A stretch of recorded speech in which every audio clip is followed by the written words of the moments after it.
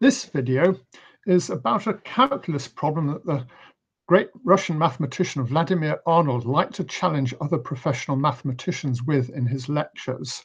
So he would ask them to calculate the following limit. You take sine of tan of x minus tan sine of x and divide it by arc sine arc tan of x minus arc tan arc sine of x. So the point about his problem was that this is almost impossible to solve using the standard techniques that mathematicians use, but there's a very simple way of working out the answer with almost no effort at all.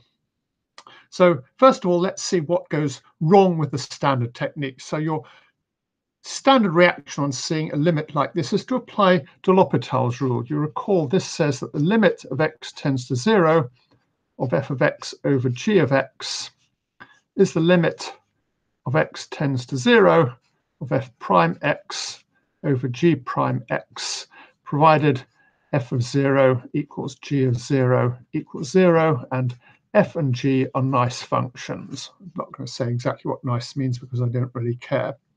So for example, suppose we want to calculate the limit as x tends to 0 of 1 minus cosine x over x squared.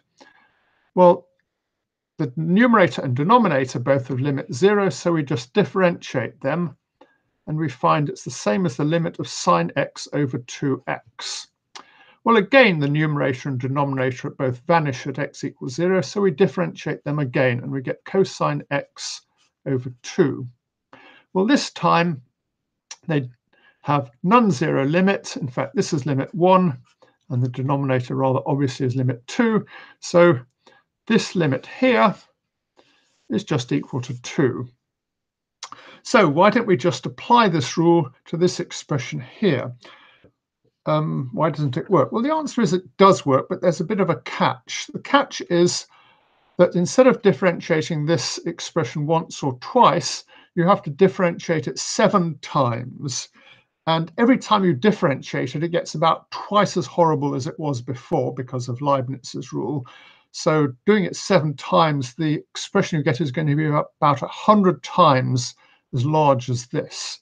Um, you can do this on a computer algebra system. I, I, tried it on one computer algebra system and it managed the numerator and gave up on the denominator. It said the numerator if you take its derivative seven times and take the limit, you get minus 168. So it's possible to do it by computer. Anyway, Arnold's, the reason Arnold liked this example is it was kind of a good way of making people look stupid because there's actually a really easy solution. So what you notice is you're trying to find the limit as x tends to 0 of f of x minus g of x over g inverse of x minus f inverse of x, where this is the inverse function of g. So if g was sine, this would be arc sine. And here we're taking f of x to be sine of tan of x, and g of x is equal to tan of sine of x. So what we drew is we just draw a picture of what is going on because drawing a picture is always a really good way to understand what's going on. So this is going to be the line y equals x. And I'm going to draw a blue line for the graph of g of x and a red line for the graph of y equals f of x. And the point about these functions g and f is that f prime of 0 equals g prime of 0 equals 1. And that's pretty much all we need to know about the functions, plus the fact they're not too ugly. And now what you do is you choose a point x. So this is going to be our point x. And I look at this distance here. So this distance here is just f of x minus g of x. And I can look at this distance here, and this is g inverse of x minus f inverse of x, because this point x is here, so this distance here is given by that expression. So the limit we want to find out is the ratio of this line to this line. And you can see from geometry that if you're really close to the origin, then the ratio of this line to this line is just the slope of this line here, which is 1.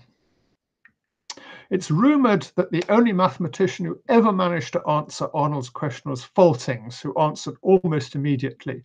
And when someone asked him how Faltings had done it, he said he guessed from the way Arnold was talking that the answer was something really simple. So he just guessed the simplest number he could think of, which was one.